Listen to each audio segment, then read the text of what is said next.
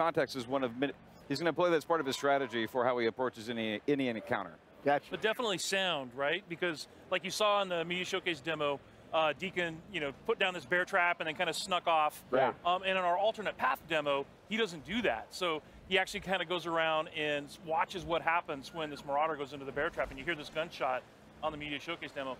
If you look at our alternate uh, path footage, you'll see um, that one of the Marauders actually shoots the other Marauder in the head because he's making too much noise. Oh wow. Right. So yeah. So it's a pretty harsh. It's a pretty harsh world, but that sound traveled, and sound is like is something that can be really, really dangerous. Gotcha.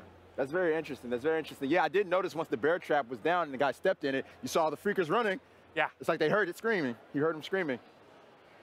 This is uh, looking good. Um, I haven't seen, I didn't see all of this footage. Uh, I was kind of, I was kind of a little distracted last night during the showcase. But uh, one of the things I really like about this game um, is, is it's, you know, we see a lot of open world games out there. It's certainly like a popular genre, but right. this one, it, it, the, the, the feel of it is different. It's, it feels more improvisational. Uh, I think is the word I'm going for.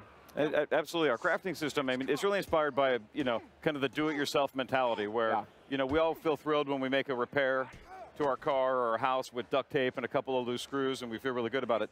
That that's Deacon. You know, he's making use of everything he can find in the environment, and they have to scavenge and search for things and employ them in really clever ways. That And he, and he has to do he, it. he has to do it so, to survive, and like you, because see right here, these. this is the same clothesline that Deacon ran into, and in this demo, the runners aren't chasing him. So, so basically, he has the opportunity to see the the ambush before it happens, goes around it, comes up behind him, and takes those guys out from behind. Right. So you know, it's, that's you know, to Yeah, your point. and then he it's, and he strangles them with their own clothesline too. Yeah, exactly. so he makes use of the whole buffalo. In and this it's a dynamic event that can happen.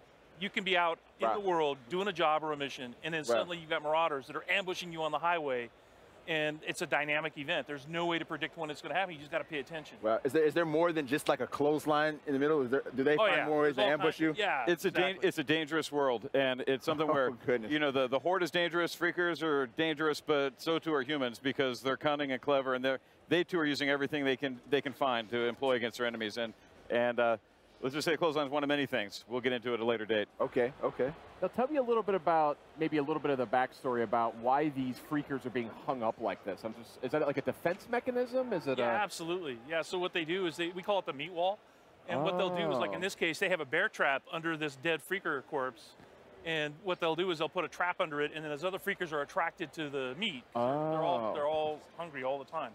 That's what happens evidently if you become a freaker. Um, but they but they hang up the meat walls again. It's kind of like a wall to protect the encampment. So you can always tell when you're coming close to a marauder camp because you'll run into these kinds of traps. Yeah, they had all kinds of defenses too. I mean, the first thing Deacon did was trip over that little thing in the in the, the, the tin cans.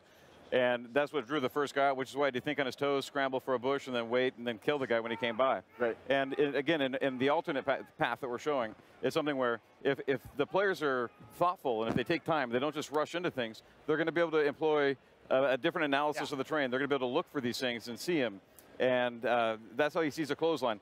And when the players are careful and cautious and assume the world is dangerous, they can turn the tables on the bad guys using their same, the same tools that they're using against the player against them. Yeah, so like what you're seeing now is is part of the alternate path. Changed up the time of day, changed up the weather. Okay, I was going to say I didn't because it's remember this cold- from the show. Exactly, Yeah. because it's colder Okay, now, more beautiful. freakers are coming out, so freakers are Ah. stronger when it's cold out. So you Oh, interesting. really got to be careful when it's snowing. Also, Yeah. the bike handles differently. It's like if you'd seen the earlier part when Deacon's Oh. trying to ride his bike through the snow, it's very, very different. Oh, this is really cool. I didn't I didn't realize. Interesting. So here's your meat wall, right? the meat wall there. Yeah, That, that's, that seems like a pretty smart move, if I'm Yeah. honest. yeah, yeah. But yeah, look at this, a beautiful looking game too. And I know you guys are are digging into the PS4 Pro as well as you make this title. This is one that's been shown off a number of times. Right. I know you have HDR. Tell me a little bit about uh, like working with PS4 Pro as you develop the game. Well, the biggest the biggest thing is just the resolution. So Yeah. dynamic 4K, and Yeah. if you get a chance to see this thing on a 4K monitor an HDR. Oh, yeah. You know, and HDR is honestly to me the most impressive thing because it really sort of simulates what the human eye can see. The gamut of colors is just amazing. So watching it in 4K HDR is is something you have to do. It, it's beautiful enough without 4K. And, True, and then right? you add that to the mix, and it's just it's mind blowing. yeah. Right, right.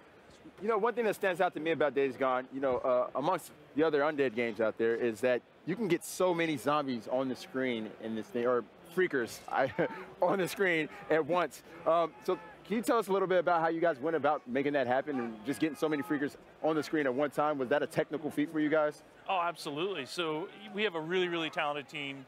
Um, some of our, our engineers and artists and designers and audio and everything, but we, I think we have like, you know, we have this one engineer that's literally been, at, I've been at, at Sony been for 20 years. Um, Chris has been there like 26 years. Wow. Right. And this other engineer has been there like 20, you know, 23 years or something. And he does all of our physics. And he, you know, he really, really, really worked hard to make sure that we could have as, you know, as many freakers on the screen as we can. And, and you know, and last year's demo was no joke. Right. We had 300 active on screen at once. Wow. And you know the overall horde for the sawmill, we were managing something like how many did you say it was? Killed a thousand. It was a thousand demo, yeah. freakers. Yeah. Whoa. and then 300 more showed up at the end too. So. Yeah, so Yeah. it's pretty impressive. So What we're do- even impressed by it. What do you do when you're confronted by that many freakers and, and in this game? I mean, I saw, we saw last year's demo. I'm not sure that ended so well. Didn't that seemed well. like a pretty desperate Yeah, ending. there. yeah. but what do you do? What's a, what's what could be an effective technique Well, for getting out of that? weaponize them, like we saw in the demo, them, right. Where, Yeah. you know, so that, that wasn't actually a horde; it was a swarm, a smaller. Okay. horde. One in, t- in th- th- this E3's demos. Is Yeah, i- in this in this year's E3 Right. demo. So it's something where you can even weaponize the the larger horde as well. But it's something where yeah, it's a threat to you. But if you're smart and you don't just rush into everything, you can stop and contemplate how you can utilize Yeah. every weapon and every enemy and the environment against each other as part of your tool set. And I, and I think the short answer is until you have progressed, because this, you know, it's like taking on a swarm is something you can probably do pretty early in the game. The horde encounters are probably later in the game, and you just you just do what Deacon did last year. You The, the shortest answer is Yeah. run. When you Run. Run, Yeah. run. Get get up to a tall place. that won't save you, but it might buy you a few seconds. Yep. Well, you saw in the demo, you saw in the demo at the showcase that they had the Deacon looks over this fence and he sees a horde down there. Right. Probably that's not the smartest thing to do. Would be to run down there. Yeah. And, you know, and mess with them. You just don't Right. want to do that. Yeah. Speaking of hopeless endings, uh, there was a freaked out bear. Oh yeah. at the I was going to go into that. Yeah. yeah, yeah, yeah. So, uh, what other types of creatures are we going to see in that state? Well, we seen last year we saw the horde. Right. We saw swarmers. We saw the newts, which are adolescents when they were infected.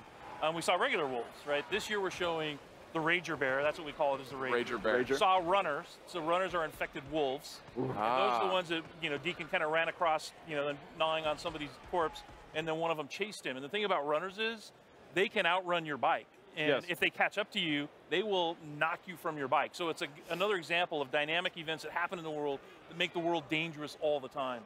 Wow. Such a cool game you guys are making. It's really inspired. I think it's got a lot of a lot of cool mechanics to it. Uh, you know, it's, again, it's just kind of a fresh take on the open world genre. So, what would you say you're most proud of uh, as you work on the title? Yeah. Oh, uh, myself, uh, I, I'm most proud of the way that our humans are evil. The way Yeah. that they just they, they lie in wait and they want to ambush a player and just do. They themselves are doing anything it takes for them to survive, and it just comes at the cost of our hero. But it, it's humans are mean and we're resourceful and we and we do twisted stuff. And uh, this clothesline is just kind of the beginning of the things they're doing that the players.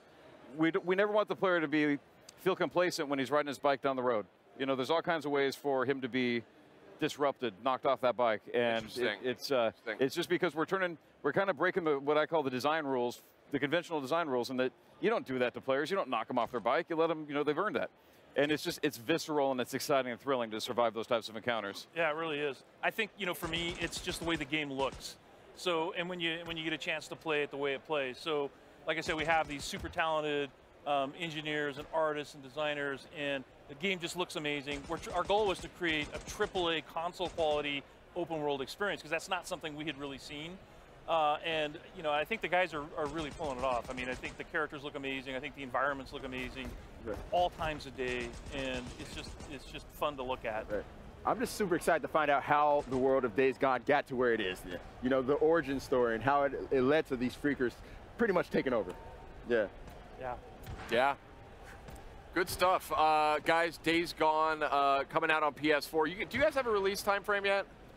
We don't. So Okay. we're you know we're just working really hard to Deep try to in make development, the best yeah. game. You know, we're really happy that Sony's given us the time and Yeah. resources to just make like a AAA Yep. open world action game, and I you know and I think it's going to be awesome.